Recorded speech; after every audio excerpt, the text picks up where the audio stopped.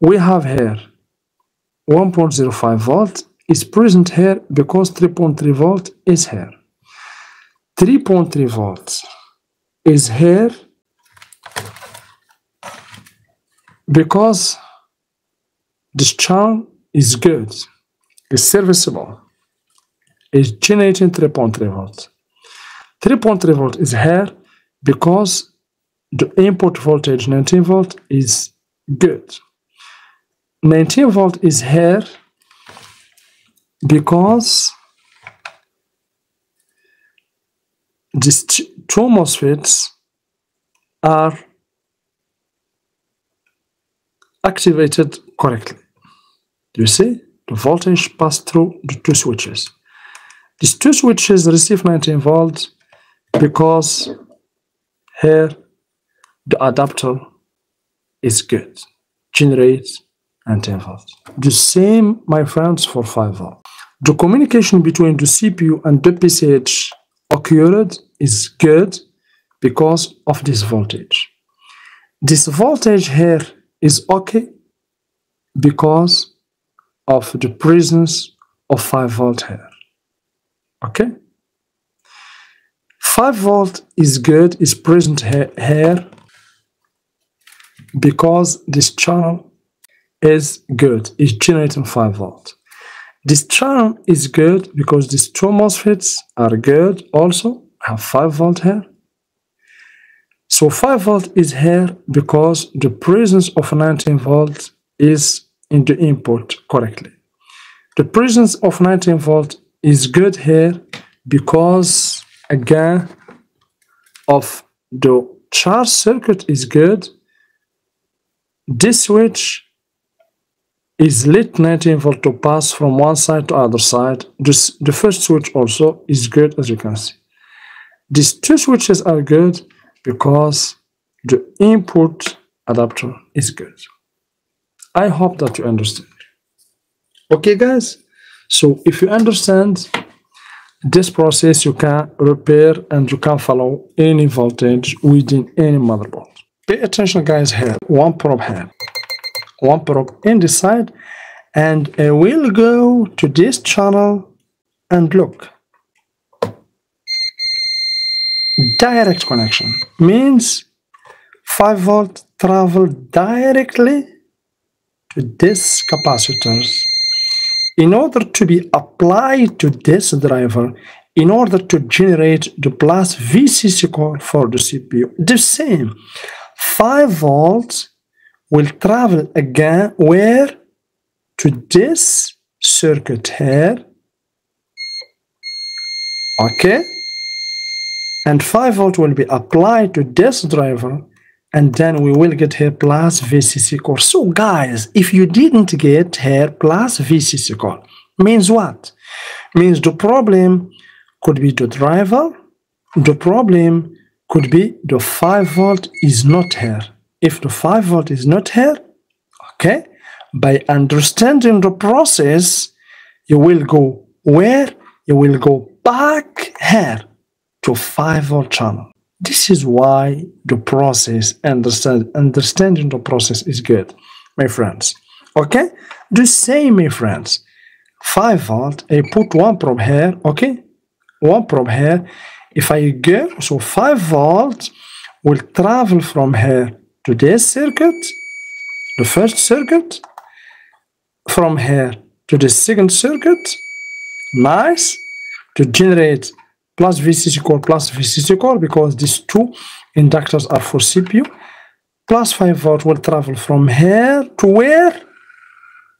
Here guys, to generate here. Look, okay, the multimeter, ah, yes, I should put the multimeter here. Look my friends, here we have the 5 volt channel.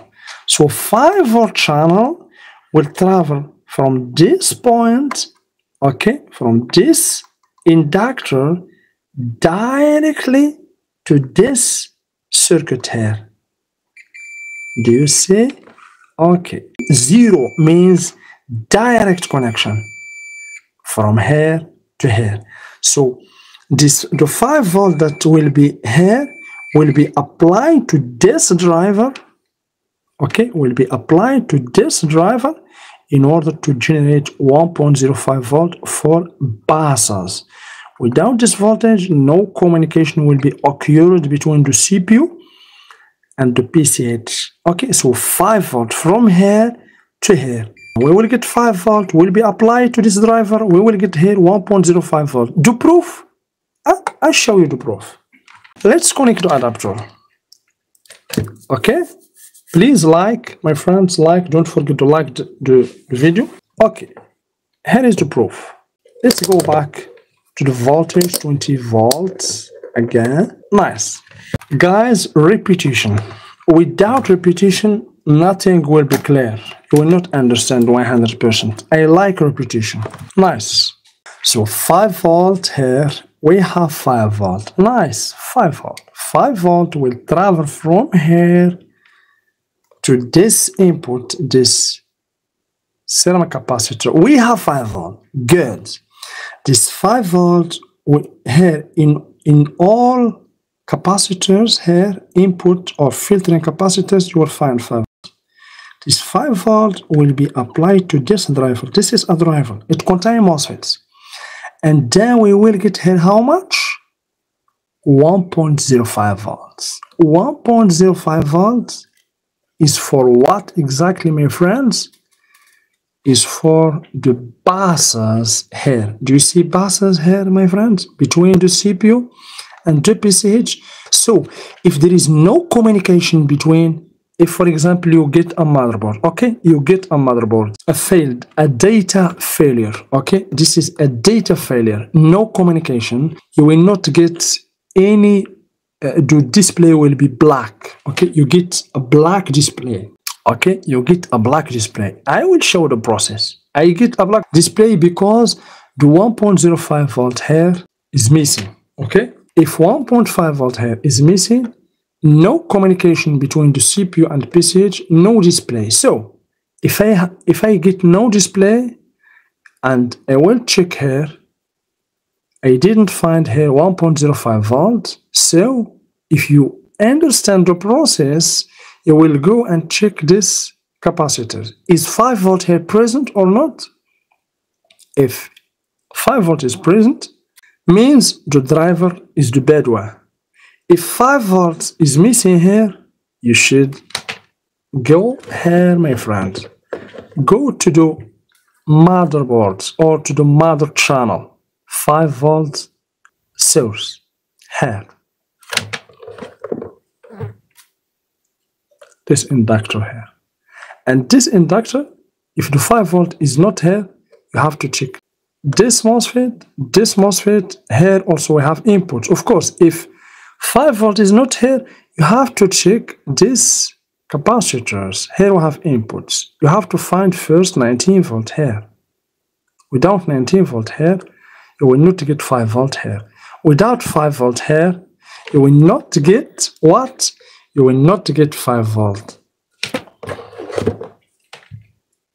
Here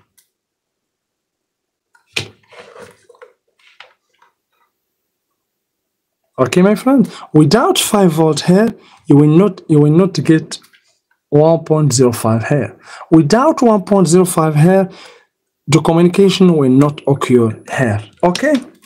I hope that you understand my friends. Please uh, tell me in the comment if you understand the process or not and tell me please if you enjoy the process and if you understand that teaching is more valuable and more important than doing live repair. I have received a lot of emails basically and comments asking why I don't do live repair videos like many other channels. The reason why is simple. I'm not just a repair technician. I am a professional hardware instructor. And instructors basically are not available, while many channels show live repairs done by technicians. Basically my focus is on teaching you the skills and thinking process behind every repair. Yes i can repair laptops easily. That's part of my expertise. It's very simple for me to to repair any laptop in just 20 minutes. Short circuit, no power laptop, charging problem, etc. But more importantly, I know how to teach you to do it too. The truth basically is repairing one laptop on camera using voltage injector, thermal camera, of course, is, is very helpful. But it doesn't teach you how to approach any dead laptop, no power laptop, shorted laptop with confidence. That's why my goal is not just to show repairs, but to guide you step by step and to give you a right process that you can use not just to repair one laptop, but to repair thousands of laptops. So you can learn how to troubleshoot and fix problems on your own. Teaching is the harder job. And please keep in mind that teaching, the instructor, the hardware professional hardware instructor like me, can repair, do repair, live repair. But the repairman or technician cannot be instructor, cannot teach the process, how to follow voltages, how to find short, etc. It's also the one that helps you the most in the long periods. Okay? So I hope that you understand. Now guys, I will prove you what I'm saying right now. I will begin from zero to Z. Let's use the process from the from the beginning to the end and then move on to other other thing. Okay, my friends? Let's do it. So you get, for example, a motherboard, a no data motherboard, okay? A no data motherboard or a motherboard with the fast spin about five seconds or maybe three seconds and stops. You check all inductors. You find all voltages are present except this voltage, for example, except one point, okay, 1.2 for the PCH. Okay? If the PCH is not powered, means what? Means you will not get anything in the screen. Nice. So, what is the route or the process you have to follow to find out the problem? Easy. Just check capacitors around the inductor. Okay? Here you find 3.3 volts. Okay. Let's assume that you check the capacitors, you didn't find 3.3 volts. Means this voltage will not be generated. You should go back